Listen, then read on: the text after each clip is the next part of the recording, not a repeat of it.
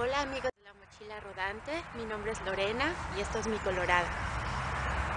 Pues nada, los saludo desde Heidelberg, solo para decirles que me da un gusto enorme haber podido seguir este proyecto desde que estaba en pañales y que era solo una idea. Creo en todos y cada uno de sus principios y desde cualquier latitud, bajo cualquier condición climática, aquí también siempre andamos sobre dos ruedas. Chao.